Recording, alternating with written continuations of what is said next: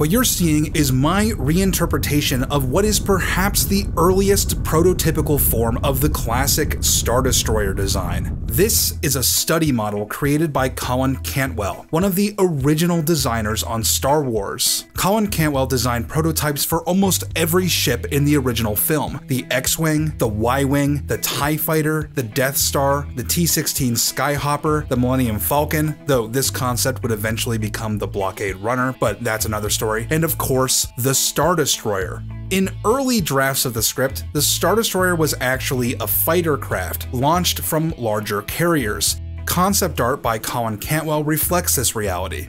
Now, eventual design elements of the final Star Destroyer can still be seen in the Imperial Cruiser here. That is, the classic Imperial design aesthetic was already established pretty early on, but the iconic triangle shape is attributed to the fighters. Now, this ship design would actually be pulled off the shelf for the first time in some 40 years to take on the role of the Imperial Arrestor Cruiser, seen briefly and pretty indistinctly in the solo film, though more prominently in a deleted scene. Eventually, the triangular shape as well as the Star Destroyer label would be applied to the larger cruiser as reflected in the prototype model, and the fighter craft would become the TIE Fighter. These designs would later be reinterpreted by Joe Johnston, who is largely responsible for the on-screen versions of the ships that we're familiar with today. But it was Colin Cantwell who put down the groundwork for virtually every ship in the film, and in the case of the T-16 Skyhopper, he actually provided the final design. The model that Luke is seen briefly playing with was made by Colin Cantwell.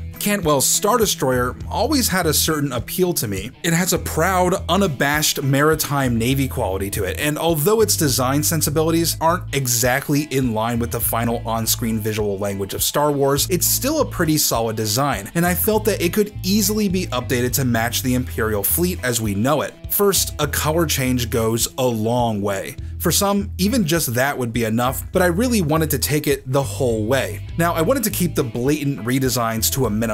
For instance, these disc-shaped turrets absolutely had to stay, but certain elements I would preserve the basic concept of the shape but reimagine their functions. These bulbs would become turrets, and although this shape is basically the same part on the model, I thought this was a perfect place to put the iconic Star Destroyer sensor globes. The huge antenna array would stay, but Star Wars doesn't really seem to like this sort of element. Antennas in Star Wars are typically pretty simple or blocky shapes. For instance, look at the antenna array on an Imperial 1 class Star Destroyer. So I didn't want to give up this look completely, but I would push this element more toward the standard Imperial look. It's more blocky and fleshed out. And honestly, the rest kind of just fell into place. The only thing I really blatantly changed was the addition of an angled spine behind the superstructure, which not only visually ties it more to the Star Destroyer aesthetic, but it helps flesh out what is admittedly a somewhat sparse area on the original model.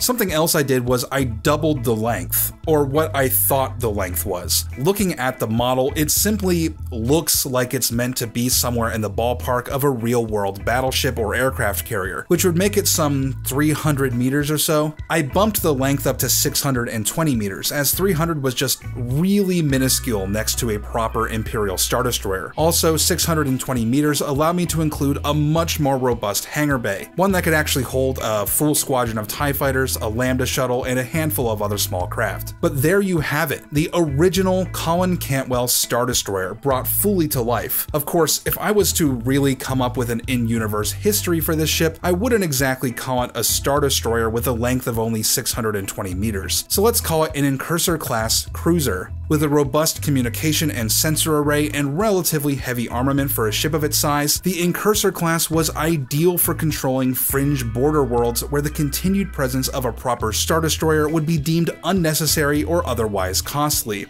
Carrying a full squadron of TIE fighters and several landing craft, the Incursor class was fully capable of single-handedly sustaining the occupation of a small system. But what other capabilities and specifications does the Incursor class have? If you guys have more ideas for this ship, I would love to hear them, and if you want additional details clarified, I'll try my best to come up with something. This model was a big project and required input and help from more than one artist. It uses components from Howard Day and Angelos Karderinis, And it was Angelos Karderinis who also supplied the positively beautiful Devastator model that you've seen in a few shots. So a big thank you to them, as well as all of my amazing patrons over at Patreon, who support me and give me the freedom to work on projects like this. You guys are the backbone of the channel. To the rest of you, thank you so much for watching, and I'll see you next time.